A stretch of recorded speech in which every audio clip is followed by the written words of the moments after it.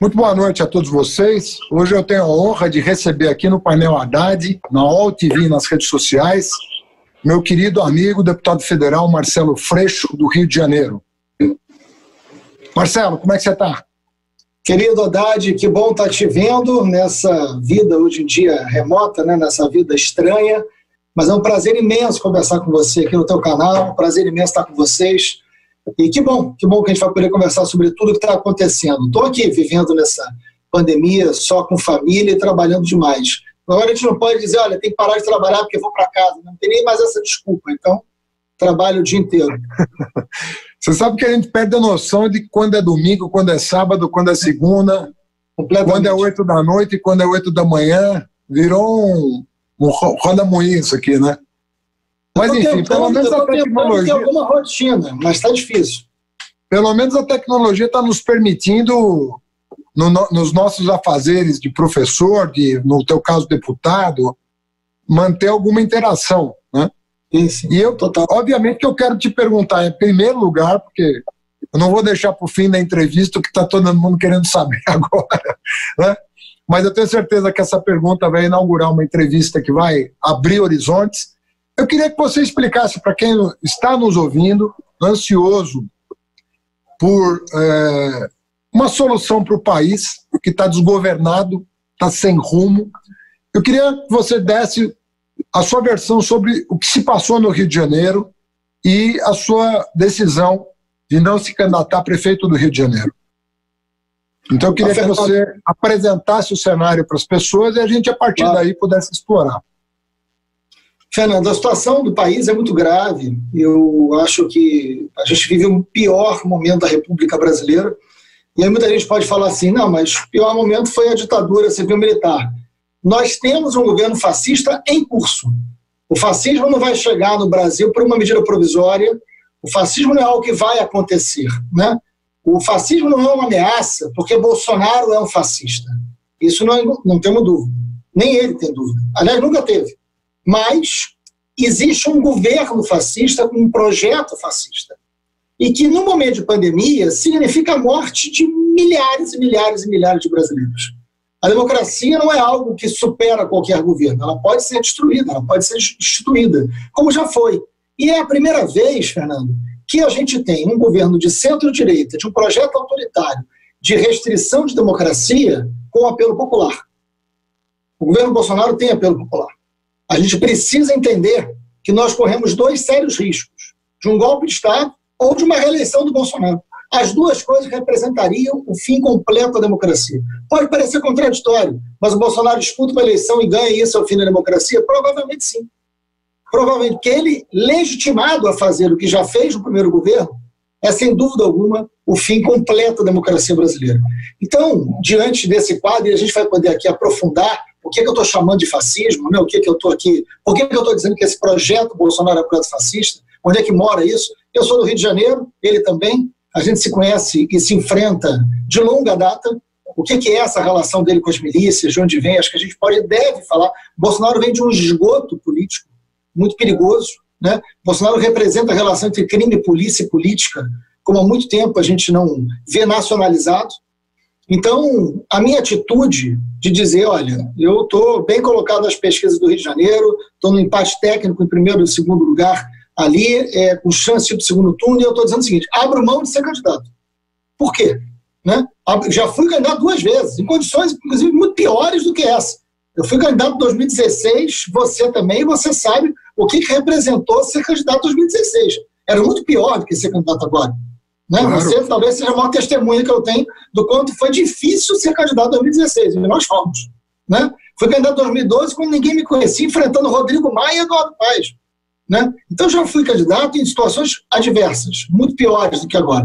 Só que agora não é uma questão de adversidade eleitoral, é outra situação, é outra conjuntura, não tem cabimento. Nós temos uma candidatura, o PSB, o PDT está com outra, o PCdoB pode ser que venha, mas não sabe. Ou seja, tem uma. É, é nós não podemos estar tá cada um varrendo o seu quintal, cada um olhando para o seu projeto pessoal e um tufão vindo atrás e arrancando a casa das casas das pessoas. O projeto fascista é um projeto em andamento, ele está acontecendo, ele não é uma ameaça. Ele é um fato hoje em dia no Brasil. Então, as forças comprometidas com a democracia precisam tomar atitudes. Nós temos que estancar essa divisão que hoje acontece na esquerda. Nós temos que estancar a divisão que hoje acontece na democracia, porque se não fizermos isso, seremos julgados de forma muito cruel pela história. E nós podemos, podemos perder algo muito maior do que perder uma eleição. Podemos perder o direito a ter eleição. Isso está em risco. Ah, mas você está exagerando. Não, não estou exagerando. Eu conheço bastante o Bolsonaro, entendo, acompanho de perto a sua história, do que ele é capaz e o, e, o quanto ele é um ser incapaz. Então, é, o que está colocado hoje é muito grave. Eu estou fazendo um gesto, né, de, evidentemente, eu queria ser candidato, tinha um, um projeto, estou abrindo mão de um projeto para dizer o seguinte: olha, vamos fazer uma coisa, vamos colocar na mesa, vamos olhar no olho, porque ah, mas tem diferenças entre o PDT e o PT, tem mágoas, ok. Nós dois conversamos muito sobre isso, ok. E eu não, eu não sou um juiz, Fernando, eu não sou um juiz para dizer de que lado está certo, se essa crítica é justa ou não é. Eu estou partindo do princípio que toda crítica, que toda divergência é legítima e é justa. Eu parto desse princípio. Né? Agora, nenhuma delas pode ser comparada ou pode ser, nesse momento, colocada à frente do que nos coloca como necessidade de estarmos juntos, que é o enfrentamento ao fascismo e a defesa da democracia.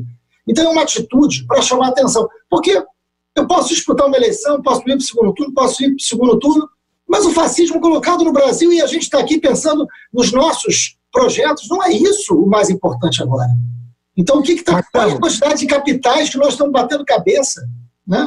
Sendo, falando objetivamente, você estava com mais questões internas ao PSOL para resolver ou externas ao PSOL envolvendo PDT, PSB, uma vez que o PT estava muito disposto a apoiar a tua candidatura? O que, que de fato pesou na tua decisão?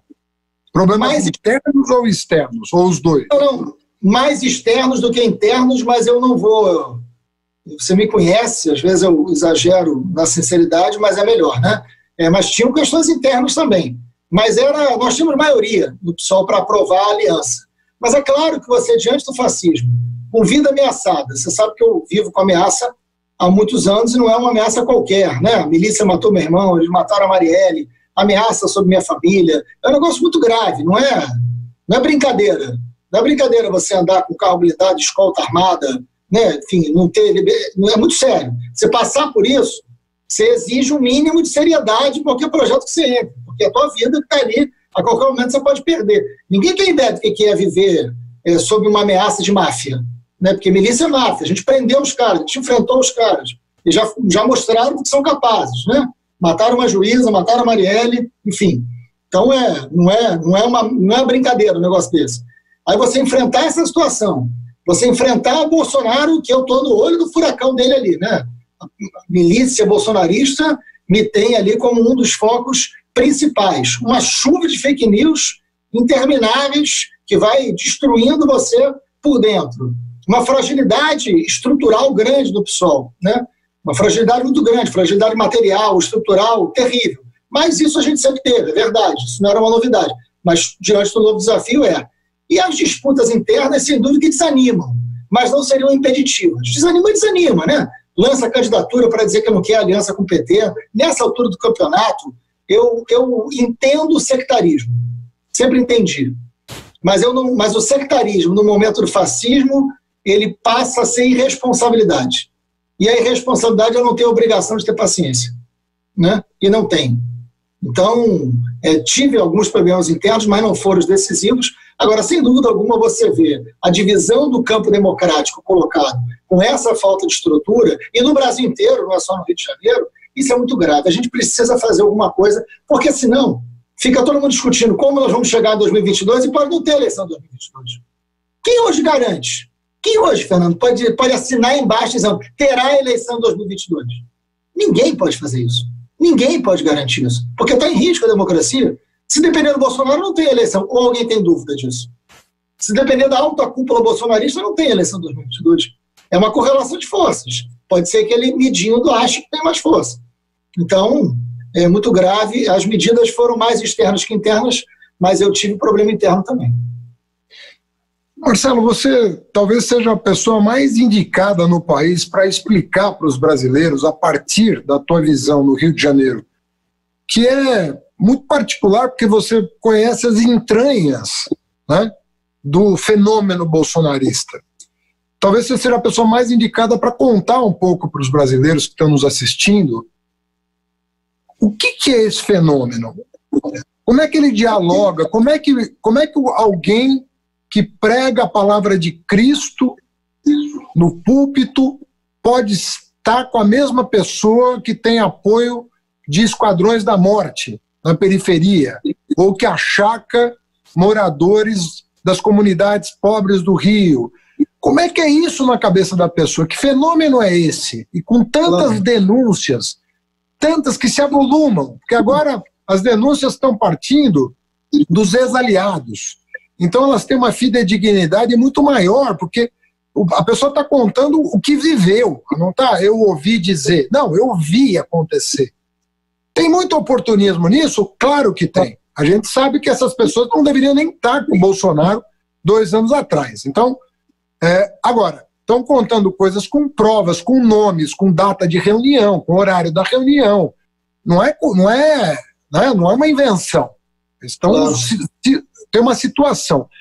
Explica um pouco para os brasileiros, a partir aí da tua experiência, da tua vivência, você que teve envolvido em muitas operações que levaram à cadeia, acho que dezenas ou centenas de, de, de criminosos. Eu queria que você contextualizasse um pouco o, o, quando você se tornou realmente uma figura nacional, que foi justamente no combate à milícia, na época que nem bolsonarismo existia. É, é verdade. É, é, até uma explicação um pouco mais, mais longa sobre isso, mas acho que vale a pena. Né? O, eu fiz essa CPI... aqui é que a gente pode falar à vontade. Quem quiser assistir, é assiste. Quem quiser parar, para e assiste o final depois. É bom. Seguinte, o, eu fiz a CPI das milícias em 2008. Né? Foi em 2008. Eu entrei, isso é muito curioso, porque eu me tornei deputado em 2007, né? A eleição foi em 2006. Em 2006, a milícia matou meu irmão. Né? É, a milícia assassinou meu irmão, meu irmão tinha 34 anos, duas filhas pequenas, e foi um, um desespero na minha família, a gente nunca tinha vivido isso. Eu, eu venho de, eu morei na periferia a minha vida inteira, eu sempre convivi muito com a violência, perdi vários amigos para relação do tráfico, polícia, mas quando acontece com um irmão, irmão de pai e mãe, é muito diferente. Né? Meu irmão foi brutalmente assassinado pela milícia em 2006, não teve nada a ver comigo. Foi no meio da campanha, no campanha que eu virei deputado. E eu fui eleito junto com vários milicianos, eleitos também, né, deputado estadual. E eu, minha família destroçada, entrei naquele. Eu era o único deputado do PSOL eleito, governo Sérgio Cabral. Sérgio Cabral tinha acabado de ser eleito pela primeira vez. Eu era o único deputado de oposição. Dos 70 deputados estaduais, eu era o único de oposição. A vida era dura. Aí eu, e ele cheio de miliciano eleito, deputado comigo. Eu, ou eu enfrentava Haddad, ou eu dava uma de Forrest Gump, começava a correr e nunca mais parava. Né? Assim, das duas, uma. E aí eu resolvi, assim, tem que ter é essas horas que você fala assim, vamos pegar o resto de dignidade que, que tem aqui para enfrentar, né? não, não, não tem como. Eu, eu, era minha família, era minha memória, e aí a primeira coisa que eu fiz como deputado, com três dias de deputado, apresentei pedido de CPI das milícias. Isso foi um auê na Assembleia Legislativa, porque cheio de miliciano na Assembleia. Os caras olharam aquilo, eu era o deputado menos votado, o único de oposição, apresentando pedido de CPI das milícias. O cara falou, esse garoto é louco, né? tem que amarrar a caminho de força nele e interditar. Né? Então, meio que me trataram como um negócio estranho. Um ano e meio depois, é óbvio que a Assembleia Legislativa não sei o que votou é como se não tivesse apresentado a CPI, não deram melhor bola. Um ano e meio depois, a milícia tortura, de forma muito cruel, um grupo de jornalistas que fazia uma, uma investigação sobre milícia numa favela da Zona Oeste do Rio de Janeiro. E aí a imprensa descobriu a tortura, eles não foram mortos, me procura e fala assim: é verdade que tem um pedido seu de CPI trancado há mais de um ano na casa para investigar a milícia? Eu falei: é.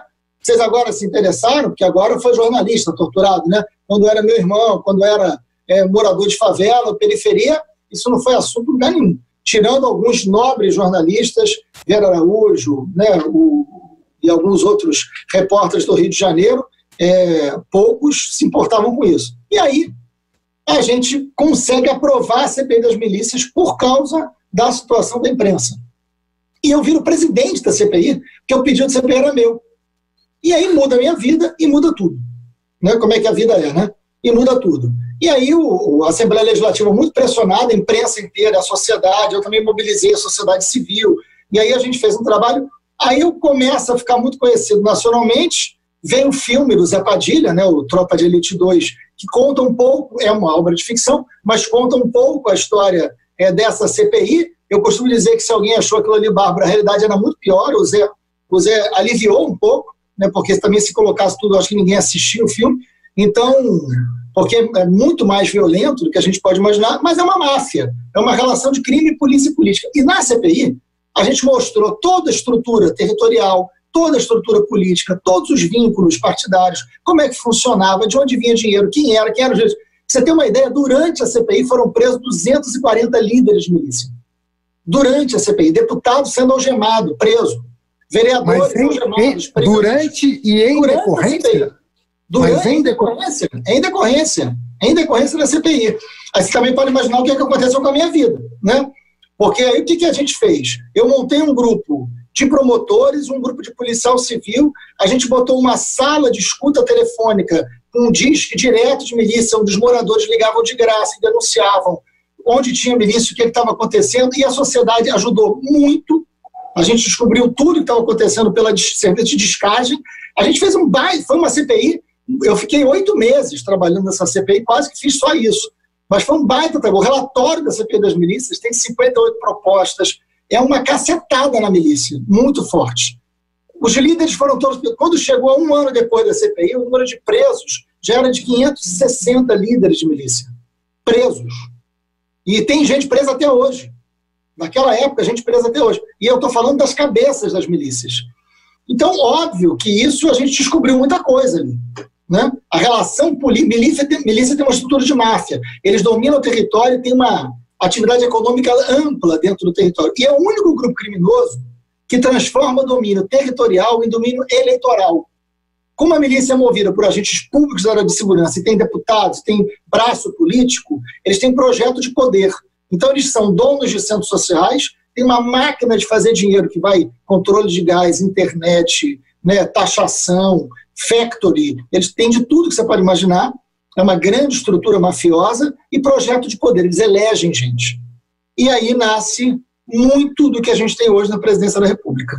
Por isso que é grave. Marcelo, é, veja só, a, a, julgar aí pelas evidências, obviamente que isso, se o Bolsonaro deixar, né, isso vai, vai vir à tona e a justiça vai se encarregar.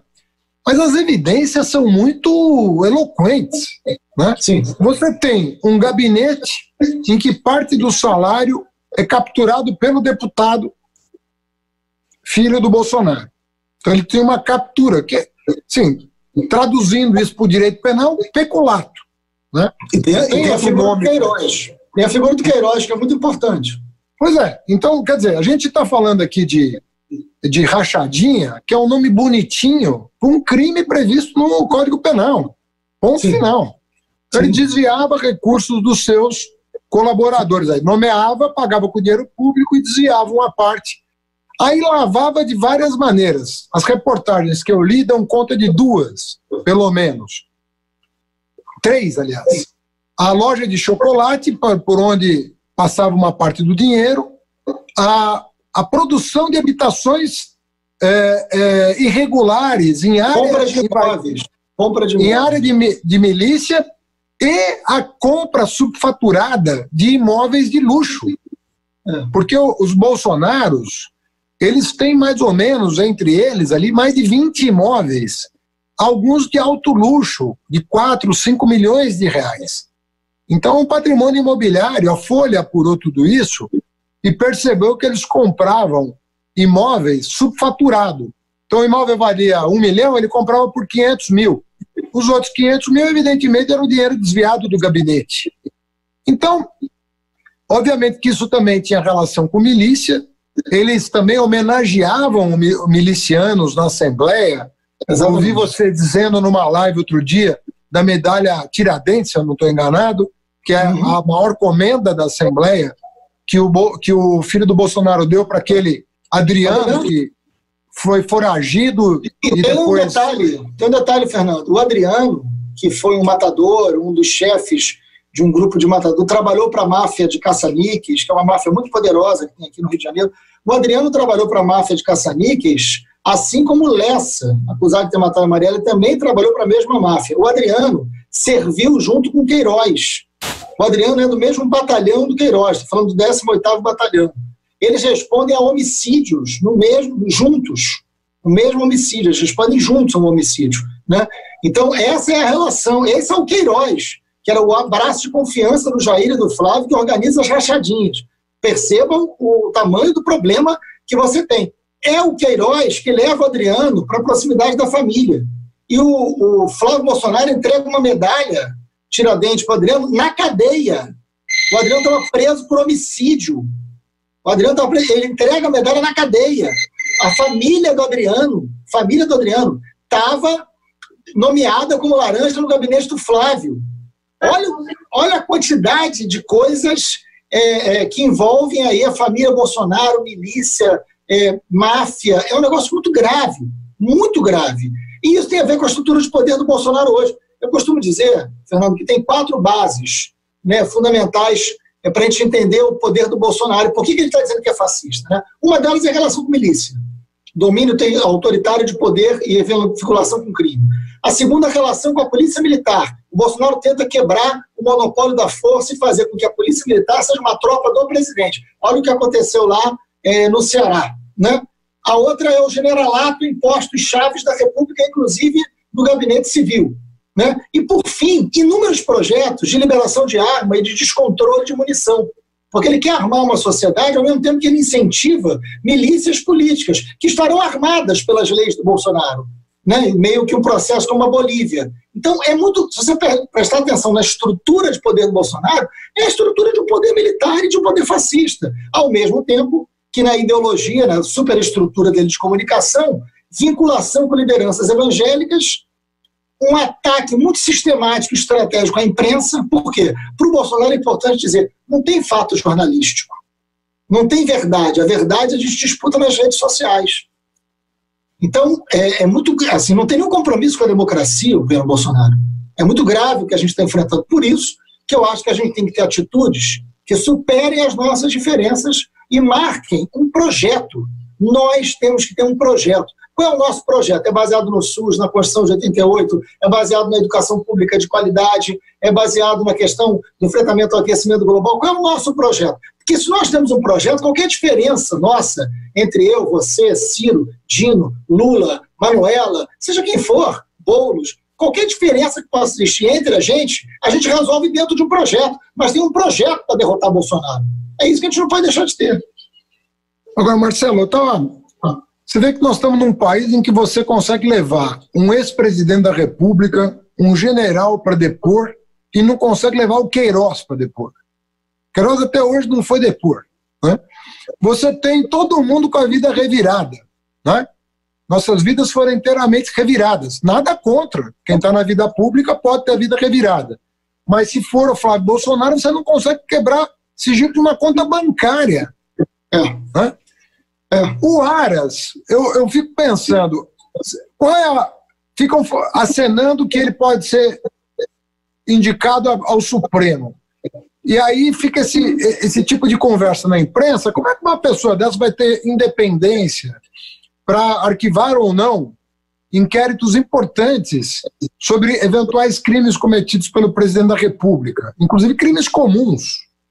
Claro. Você tem já um rol de crimes de responsabilidade que independem, inclusive, de interpretação da Constituição, que são textuais.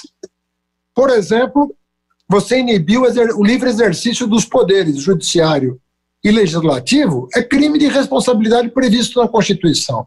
O Bolsonaro faz isso todo domingo e ocupa o noticiário com isso. Então, a minha impressão é que não é só uma questão miliciana.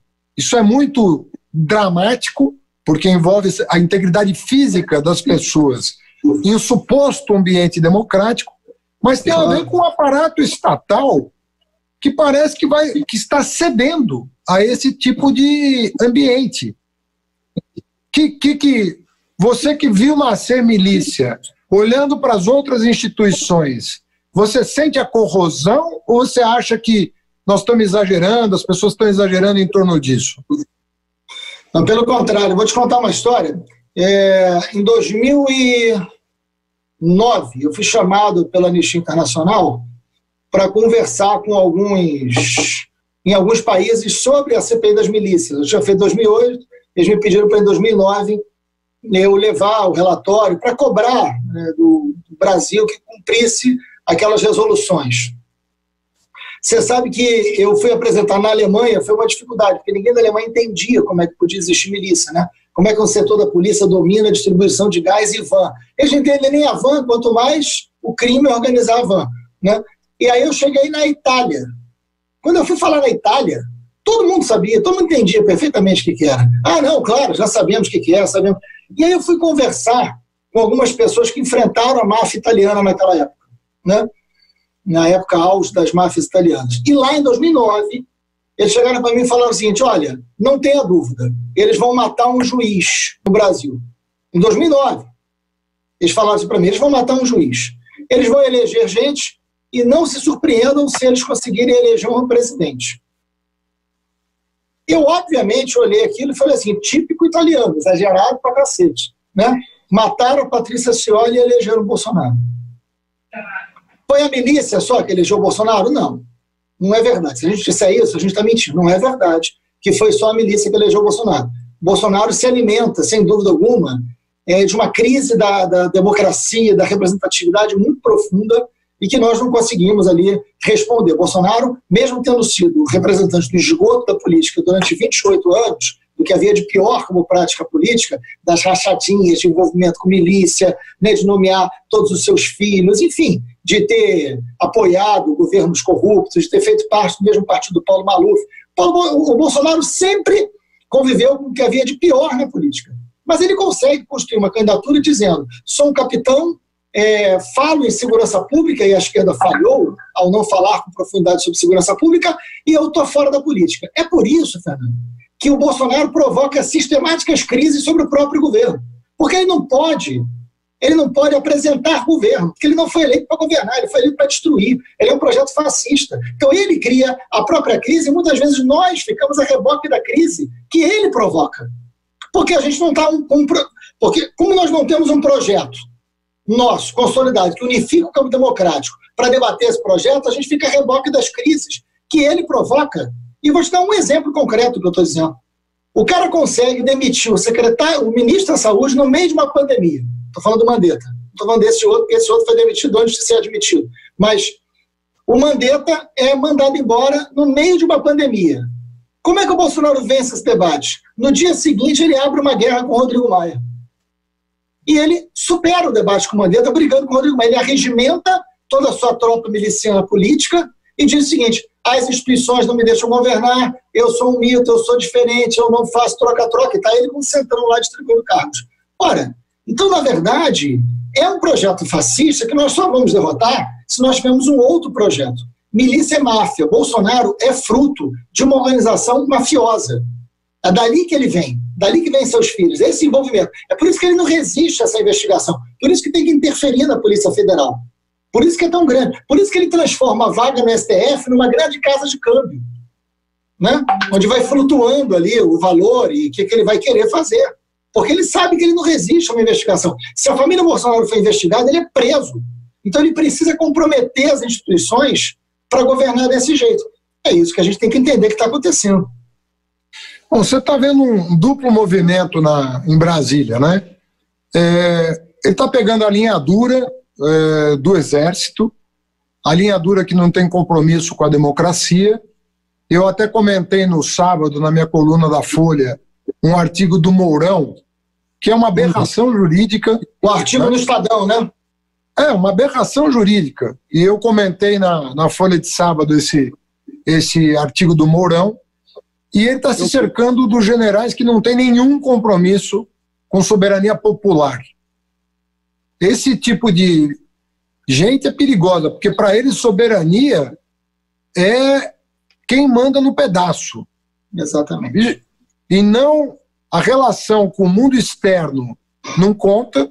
Então podemos ter um presidente que é um verdadeiro capacho do presidente americano, não tem problema nenhum. E internamente, é, o que conta é o patrimônio. O é. povo está fora da equação. Então, falou em soberania popular, falou em anarquia, falou em soberania popular, falou em bolchevismo, é qualquer coisa menos o que está na Constituição, que é de onde deveria emanar o poder. Então, você tem um. Do outro lado, isso no poder executivo. No poder legislativo, você começa a ter uma cooptação do centrão. E é uma coisa curiosa, porque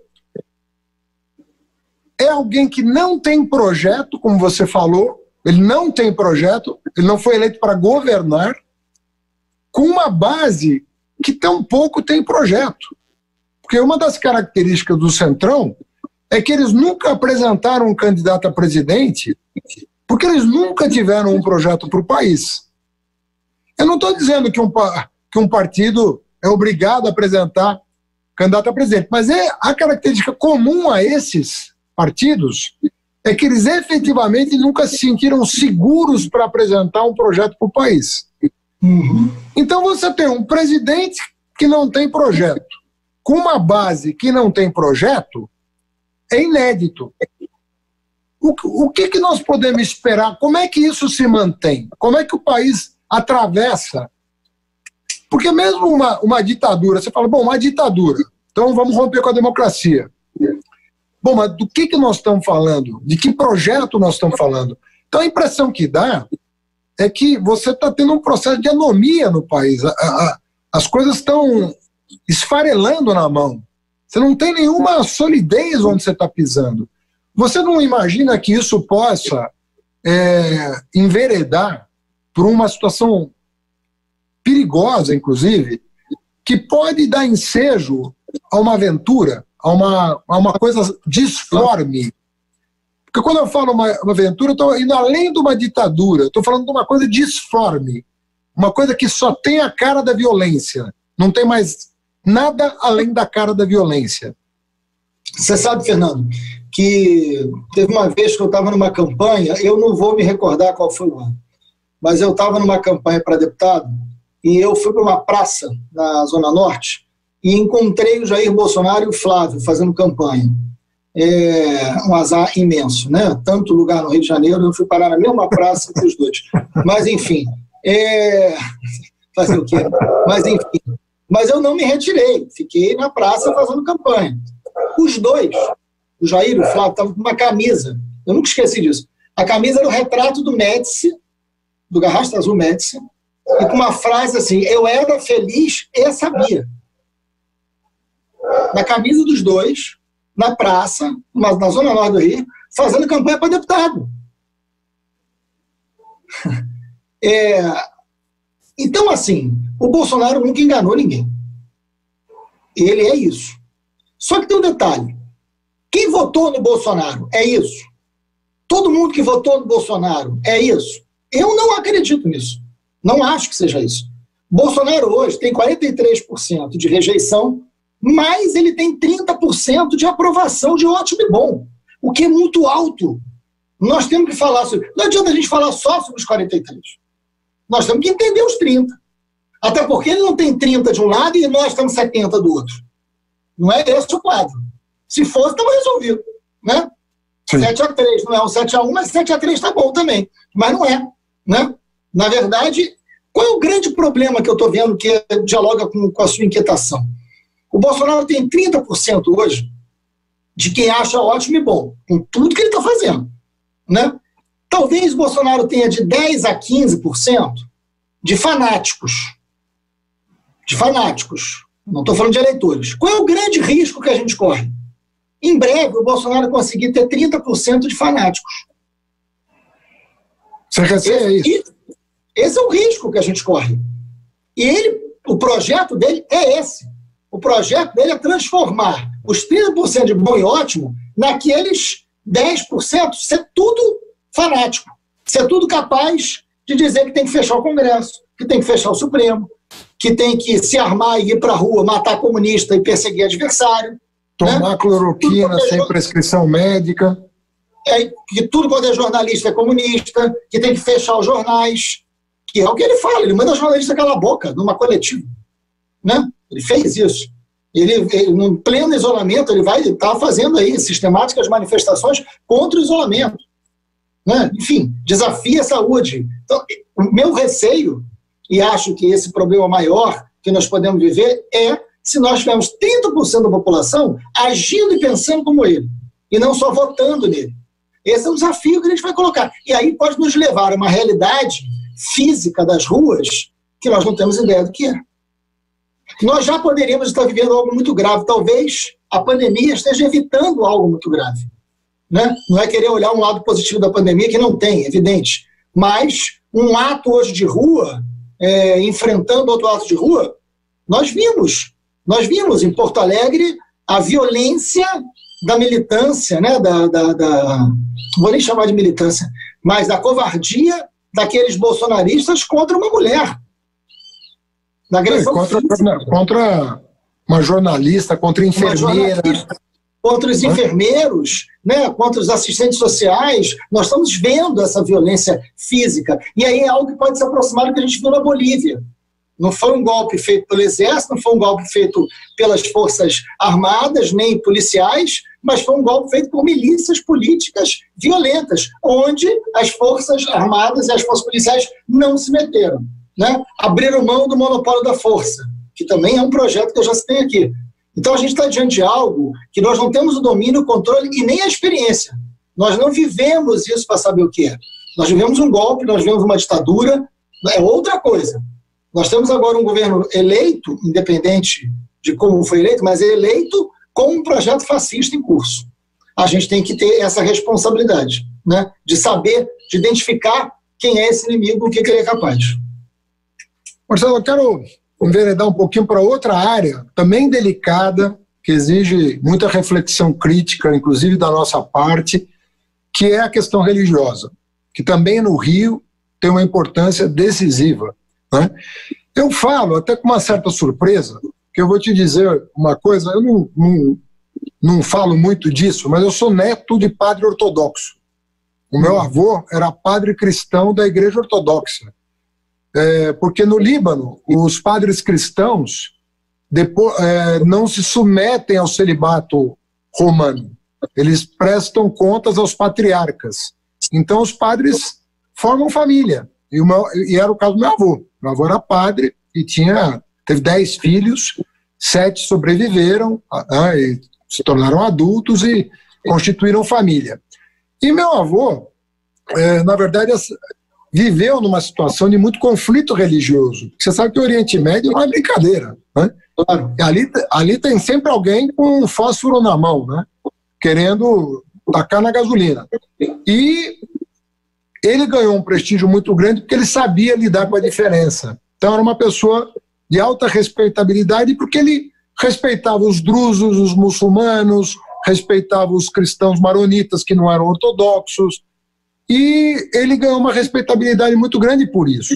E eu aprendi com, com, com meu pai que a gente tem que respeitar as crenças, tem que respeitar a fé das pessoas, claro. que a religião é um assunto privado, que a relação da pessoa com a transcendência, que ela tem mil maneiras de expressar a bondade que tem dentro dela, né? e, e são doutrinas todas muito bonitas e que a gente tem que saber conviver com isso. De repente, você vê um cara que prega o ódio ter apoio, inclusive de autoridades eclesiásticas. Né? O que, que se passa? Como é que pode, assim, que, o, do que, que nós estamos falando? Uma pessoa que nega a vida, uma pessoa que nega a liberdade, uma pessoa que nega o respeito, uma pessoa que nega a dignidade do, da pessoa humana, uma pessoa que promove a intolerância. O que, que está em jogo? Você consegue compreender o que, que qual é a liga que deu? Claro. Esse, para mim, é o grande desafio que esse campo nosso progressista tem pela frente. Né? nós, eu lembro bem das origens lá do PT, nós tínhamos três setores muito importantes na formação do PT, que é um período de redemocratização. Aí, isso, é, é interessante, né, Haddad? O, a origem do PT tem a ver com a luta pela democracia. Né? O PT Sim. surge no sentido maior da luta pela democracia. Está é, tá aí uma enorme responsabilidade que o PT tem hoje na luta pela democracia. Né? De novo, né? o PT sendo de novo muito importante aí nesse momento de luta pela democracia. Bom, que, que acontece? É, quais são os três pontos? As universidades, o pensamento intelectual foi muito importante para o PT naquele momento, o movimento operário, o movimento sindical, e o setor religioso progressista, Verdade. que a gente chamava de teologia da libertação. Né? Essas três coisas estão muito mudadas hoje em dia. E o setor religioso, nós vimos um avanço muito grande de um setor mais conservador. A fé do povo a gente tem que respeitar demais da conta. Porque essa fé é básica, ela é decisiva na sobrevivência é, de muitos brasileiros. A cidade do Rio de Janeiro, por exemplo, um terço dos moradores da cidade do Rio de Janeiro moram em favelas. As religiões têm um papel nas favelas decisivo. Se não fossem as religiões, seria muito difícil, mais, muito mais difícil a vida nas favelas. Eu tenho circulado, eu te falei isso uma vez, eu tenho circulado muito, estava, né? antes da pandemia, circulando muito e conversando com pastores evangélicos das favelas. Fiz uma reunião com 18 pastores evangélicos da Cidade de Deus. Né? Você ouvir aquelas pessoas, é uma narrativa sobre o Rio de Janeiro extraordinária. São pessoas honestas, íntegras, que conhecem aquela comunidade, que lutam pela vida daquelas pessoas. Isso é um povo, isso é uma coisa. Isso é uma realidade religiosa que a gente tem que mergulhar. É o tal trabalho de base, né? que a gente tanto fala entre nós, né? tanto nos alertamos sobre isso. Mergulhar nesse universo do cotidiano e da importância das religiões na vida das pessoas mais humildes. Isso é um universo que eu acho que a gente navega pouco, que a gente escuta pouco. Mas tem um outro universo que é dos negócios, dos grandes mercadores da fé. Nós não podemos achar que é tudo igual, que é tudo a mesma coisa. Esses grandes mercadores da fé, eles estão na vida política e eles estão do lado do Bolsonaro. Esses grandes mercadores da fé, eles fazem qualquer coisa em nome dos seus negócios e qualquer coisa usando a fé. E isso é muito perigoso, porque eles são instrumentos decisivos para fazer com que Bolsonaro sustente as suas mentiras.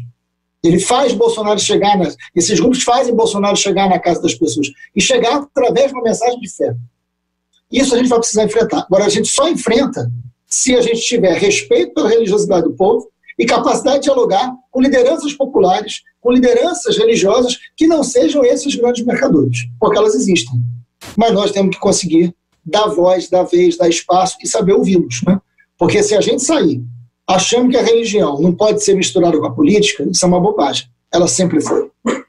Agora, qual é o projeto que a gente apresenta com quem a gente está dialogando desse setor religioso que não é um mercador, como tantos esses que estão do lado do Bolsonaro? Entendi. E isso não tem nada a ver com o Estado laico, né? Porque o Estado laico, não, não. Né? ele tem que ser laico mesmo, porque ele abraça todas as religiões. Claro. Mas cada religião tem o seu espaço na vida social do país para defender os seus valores. Né? Exatamente. Do, o Estado se mantendo, de certa maneira, é, num, numa abstração em relação à particularidade de cada religião. Eu queria, para. Estamos já no capítulo final da nossa entrevista e estou com vontade de te convidar para uma próxima, porque o assunto. A hora que você quiser, é um prazer. Vai ser muito bom. Mas eu queria te perguntar um pouco da polícia. Porque, eu vou te falar, como prefeito de São Paulo, eu tive que me relacionar com a polícia. E eu tive uma excelente impressão dos profissionais com quem eu dialoguei. Sabe? Eu tinha uma relação institucional com a Polícia Militar aqui de São Paulo. É óbvio que tinha um ou outro que eu via que que estava fora do prumo, sabe? Uma pessoa mais desequilibrada, mais truculenta, mas longe de ser a regra, era a exceção da exceção. Os profissionais com quem eu dialoguei como prefeito eram policiais militares de primeira categoria, bom nível de diálogo, bo inclusive boa formação, que é uhum. sempre criticada. Esses que eu, com quem eu dialoguei eram bem formados. Eu, obviamente que eu tratava com patente média e alta. Né? Mas na relação também com quem estava ali no, no chão de fábrica, a relação sempre muito boa. Às vezes parava uma viatura para me cumprimentar, para perguntar, e trocava uma ideia. Qual que é a tua visão sobre essa questão da polícia militar, da polícia civil? O que, que nós, do ponto de vista de segurança pública, eu sempre digo que a Constituição de 88 tem duas grandes lacunas. Isso. Não foi que foi não o sistema político partidário. Ela não não organizou o sistema político partidário. Muito do que a gente viveu, essas crises todas, a própria Lava Jato é uma consequência dessa Sim. lacuna. Ela não organizou o sistema político partidário do ponto de vista das alianças, do ponto de vista do financiamento, do ponto de vista de vários pontos de vista. Deixou tudo em aberto. Resultado, cada um fez o que quis e teve gente que fez o que não devia. Muito bem. A outra lacuna é o capítulo de segurança, é que, que praticamente é um artigo da Constituição que fala da segurança pública. Ao contrário de educação, saúde, segurança, esporte, cultura, que você tem lá todo princípios, diretrizes, segurança pública é lacônica a Constituição.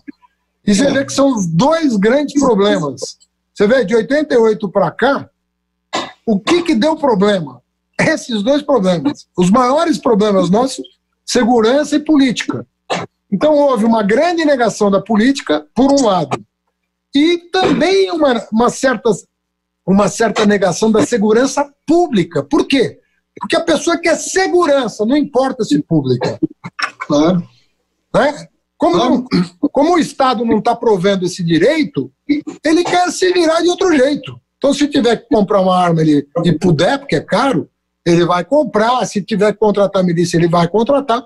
Ele quer segurança, porque da pública ele já desistiu. Então, eu queria que você falasse um pouco de segurança pública.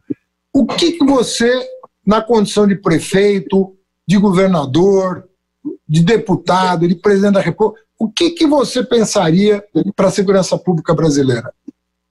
Eu concordo integralmente contigo. Eu acho que esse é o desafio maior e talvez more aí um dos maiores erros da nossa esquerda. Né? A esquerda sempre olhou para a educação, para a saúde, para a assistência social, para a luta pela terra, com um carinho muito grande e nunca olhou para a segurança. Eu entendo, porque é estranho, né? Você vai ficar falando de polícia, vai ficar falando de presídio, não é um negócio encantador, né? Como é para falar de. Você não está falando de sonho, né? Você está falando de pesadelo, né? Pensando então, educação, você fala de sonho. Segurança pública, você fala de pesadelo, você fala de problema. Mas aí nós cometemos um erro. Nós deixamos a direita elaborar sobre segurança pública. Nós deixamos a direita ter o um monopólio da fala sobre segurança pública. E a direita dialogou com um sentimento muito forte da humanidade, que é o sentimento do medo. A segurança pública dialoga com medo. Em vários momentos da nossa história, o medo vence a esperança. Nem sempre a esperança vence o medo. O medo venceu a esperança muito mais do que a esperança venceu o medo, ao longo da nossa história. Nós temos um passado escravocrata. Nós, temos, nós, nós, durante a nossa república, a gente não se livrou da lógica do tronco, da lógica do castigo físico, da lógica do justiçamento, da lógica da vingança no lugar da justiça. Isso é muito forte na cultura do povo brasileiro. É só você ver o que acontece com qualquer garoto que furta um telefone num centro urbano. A reação popular qual é? Do castigo físico, do linchamento, ou não é? Né? Isso é muito forte numa cultura de um país que teve escravidão. Então, é, quando o quadro é esse, você tem que ter política pública, você tem que ter Estado, você tem que ter monopólio da força. E você tem que ter um projeto de segurança que dialogue com o aspecto da segurança mais amplo. É, nós temos uma estrutura de polícia hoje ainda militarizada. E hoje você não consegue nem discutir a desmilitarização da polícia, porque a interpretação é que você vai colocar a polícia sem arma. Mas você tem uma formação do policial completamente deficitária, você tem uma, um controle da polícia inexistente, as ouvidorias externas elas inexistem pelo Brasil afora, você tem uma gestão estadual das polícias sem nenhum diálogo com qualquer questão nacional, você tem uma crise no sistema penitenciário das mais agudas, e nós da esquerda temos muita dificuldade de pensar o sistema penitenciário, nem mesmo na pandemia a gente consegue pensar o sistema penitenciário, Agora, é um desafio que eu acho que é central para a gente. Não vai haver um projeto de democracia sem que a gente diga o seguinte: o que torna a sociedade mais segura? A reformulação da polícia é decisiva. Nós temos que ter uma polícia de ciclo único, de formação completa. Nós temos propostas sobre isso. Nós temos que conseguir falar dessa proposta. Você falou dessa proposta quando foi candidato a presidente. Né? Você conseguiu dar voz a isso. E a gente tem a melhor proposta sobre a nossa proposta sobre ciclo completo, sobre formação única da polícia, sobre valorização dos serviços de inteligência. Qual é a nossa proposta sobre segurança pública? Ela é uma proposta muito melhor para o policial e ela é uma proposta muito melhor para o conjunto da sociedade. Porque tanto na segurança pública, como na saúde, na educação, ou no crise ambiental, a desigualdade mata. Assim como na pandemia, quem vai morrer mais é pobre. Né? Na segurança pública, os números do mapa da segurança são muito impressionantes. Nós temos uma taxa de homicídio que ultrapassa 30 por 100 mil habitantes. Agora vai baixar por causa da pandemia, mas até, né, até anterior estava num crescente de mais de 60 mil homicídios ano. E se você olhar quem está morrendo, são jovens, negros, pobres, moradores de periferia de favela. Este modelo de segurança que nós herdamos da falta de debate da Constituição de 88, ele é um modelo de segurança calcado na desigualdade social na desigualdade territorial, que naturaliza a violência sobre os pobres e que ainda faz o Estado ser muito casa grande. Né? Então a gente precisa mudar isso, mudar completamente para uma nova, um novo modelo de polícia, uma nova formação de polícia uma outra relação de Estado e sociedade através da segurança pública. Agora, proposta a gente tem. Melhorou muito a visão da, da esquerda, do campo progressista sobre segurança. A gente tem que conseguir falar com o povo sobre isso, porque aí é dialogar com o medo. E o medo sempre se agarra no que é mais imediato. Bolsonaro se elegeu também por isso. Bom, Marcelo Freixo, eu queria te agradecer muito essa oportunidade, dizer que eu sou teu companheiro, cerro fileiras com você na luta contra o fascismo. Eu tenho Obrigado. verdadeira. Alô? Acho que caiu aqui. Eu tenho, eu tenho verdadeira, verdadeiro horror da falta de liberdade. Para mim, liberdade é parte da essência humana. A gente se desumaniza sem liberdade. Então, a luta pela liberdade é a luta mais importante de qualquer pessoa. A gente respira liberdade. Então, você conte comigo para o que você quiser aí no Rio de Janeiro você saiba aqui que você tem um companheiro que, independentemente do partido, comunga com você os mesmos valores e te admira muito. E eu tive esse privilégio hoje de conversar com Marcelo Freixo, aqui no painel Haddad, e já tive conversando com outros companheiros do PSOL, mas nunca com Marcelo a primeira vez. E muita satisfação. Toda segunda-feira um convidado novo na UOL TV nas redes sociais. Mais uma vez, Marcelo, Conte comigo, conte conosco. Estamos na luta e muito obrigado pela entrevista. Obrigado, Fernando. É um prazer imenso. Sabe como eu gosto de você, como a gente é amigo na vida pessoal. Dá um beijo na Estela, um beijo na sua família. Obrigado pelo convite. É um prazer. Passou muito rápido, mas a hora Posso... que você quiser de volta, conversa mais, porque a luta vai ser grande. A gente não está numa corrida de 100 metros, né? Maratona, então a gente vai ter muita coisa para fazer. Um abraço para Antônio, um abraço em casa. Tudo de bom. Obrigado. Tudo de bom. Valeu.